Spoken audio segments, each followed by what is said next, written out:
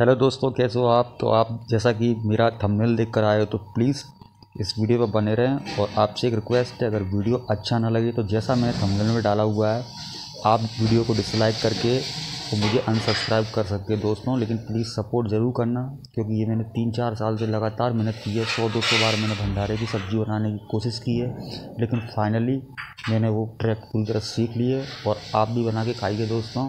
और please video पूरा शुरू से लेकर लास्ट तक देखना। तो दोस्तों हमको सीटी नहीं लगानी है। जैसे कि आप आलू देख रहे हो हम लोगों को नॉर्मली भगोने में आलू गर्म करने हैं और 10 से 15-20 मिनट लग सकते हैं आपको। लेकिन आपको पूरी तरीके से इनको गलाना नहीं है दोस्तों। ये। हलवाई लोग यही टैट का इस्तेमाल करते हैं क्योंकि मुझे तीन लोगों के लिए बनाना है इसलिए मैंने बड़े साइज़ के पाँच आलू लिए हैं। तो दोस्तों दस मिनट हो चुके हैं हमारे आलू देखिए आप। सॉफ्ट हो चुके हैं, इतने ही आपको रखने हैं, देख सकते हैं आप। आपको मतलब सीटी नहीं लगाना, आलू गल जाएगा तो फिर वो टेक्सचर नहीं आएगा। देख सकते हैं दोस्तों।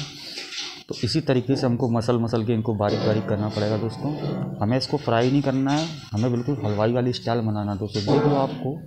और छिलके, इसलिए मेरे नहीं हटाया कि छिलकों का टेस्ट आता है। हलवाई की जो सब्ज़ी होती है, लंगर वाली, उसमें छिलके रहते हैं। अगर आप चाहो तो इन्हें नॉर्मली छिलके हटा के भी उबाल सकते हो। ये दोस्तों मैंने दही लिया, एक कप से थोड़ा कम है दही है आधे कप से और एक कप के बीच में है, लगभग आधा कप ही दही मान लो उसको, आधा पौन कप। ये हमने कसूरी मेथी ली है दोस्तों, एक से डेढ़ चम्मच, एक चम्मच हल्दी पाउडर, डेढ़ चम्मच के लगभग धनिया पाउडर और ये कश्मीरी लाल मिर्च है दोस्तों। ये एक चम्मच है, अब इन्हें अच्छी तरीके से हमें मैश कर लेना है इसको। ये देखिए दोस्तों, हमारा मैश हो चुका है तो दोस्तों, इसको फ्राई नहीं करना है, इसको लास्ट स्टेज भी फ्राई करना है दोस्तों। तो बिल्कुल हलवाई वाली टैक्ट बता रहा हूँ आपको मैं। जैसा कि हलवाई लोग करते हैं। तो दोस्तों, मैंने इसको बहुत ही, आप विश्वास नहीं करोगे, मैं समझूँ दो सौ से ज़्यादा बार बना चुका हूँ, चार पाँच साल हो गया मुझे।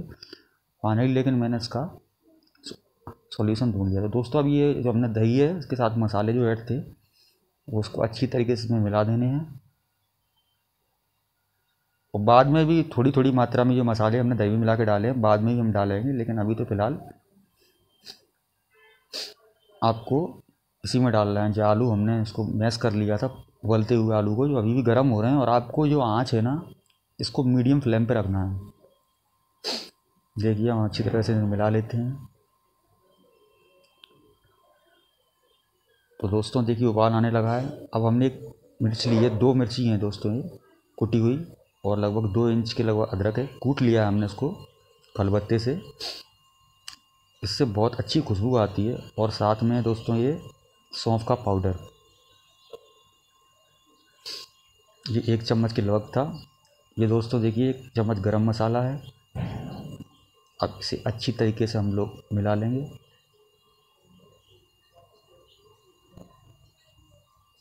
बहुत अच्छी खुशबू आ रही है सच में दोस्तों। अभी इसमें ऑयल का तुमने यूज़ किया ही नहीं है, फिर भी फाइनली इतना अच्छा लग रहा है कि अभी बना खा लें। दोस्तों, इसमें उबाल आने लगा है काफ़ी तेज़ी से।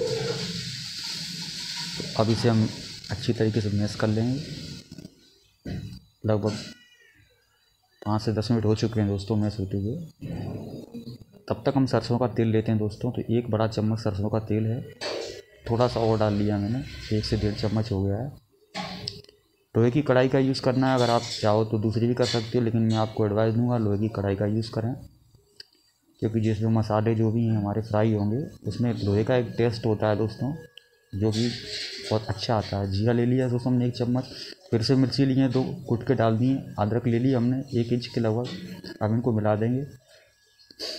और साथ में चार से पाँच तेज पत्ते। दोस्तों हमको फ्लेम उसकी बहुत धीरे कर देनी है, क्योंकि ये लोहे की कढ़ाई बहुत जल्दी हीट पकड़ती है।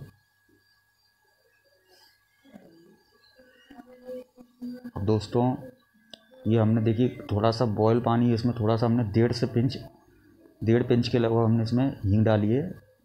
और इसमें डाल देंगे सर, ये सब्ज़ी हमारी जो उबल रही है, इसी में डाल देंगे। हमें याद रखना है, हींग को फ्राई नहीं करना है तेल में, क्योंकि हलवाई लोग ऐसा ही करते हैं।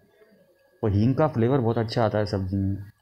तो ये देखिए हमारे जो तेज पत्ते वगैरह, जीरा वगैरह हो चुके हैं। तो ये देखिए दोस्तों, हम लोगों ने आधी चम्मच की लगभग मिर्ची लिए घर वाली तीखी, और आधी चम्मच के लगभग हल्दी है और एक चम्मच धनिया पाउडर फिर से डाला है दोस्तों। धनिया इसमें दोस्तों पहले भी हमने डेढ़ डाला था, अभी भी एक डालना है, इसे टेस्ट आया था। वो मसाले जले नहीं, इसके लिए मैंने थोड़ा पानी डाल दिया आधे कप के लगभग। अब इन्हें पाँच मिनट के लिए लगभग इसको हम धीरी आँच पर तैयार होने देंगे।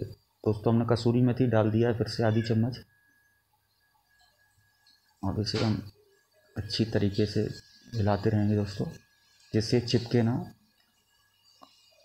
ये नमक डाल दिया दोस्तों हमने स्वाद के अकॉर्डिंग। मैंने डेढ़ चम्मच डाला है, आप जितना खाते उतना डालिए।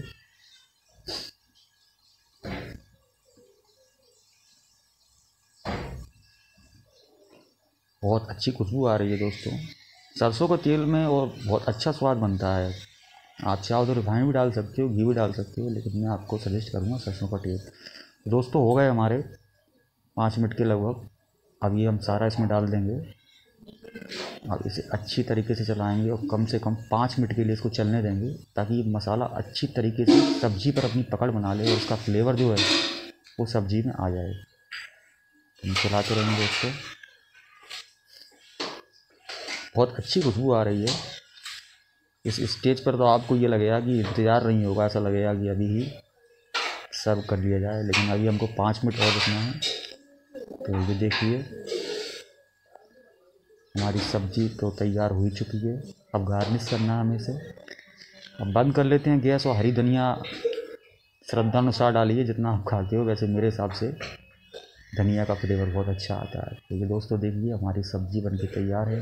ये है हमारी हलवाई स्टाइल भंडारे की सब्ज़ी दोस्तों। वीडियो अच्छा लगा हो, यहाँ तक आए हो तो सब्सक्राइब ज़रूर करना। आपका दिन शुभ रहे। खुश रहो दोस्तों।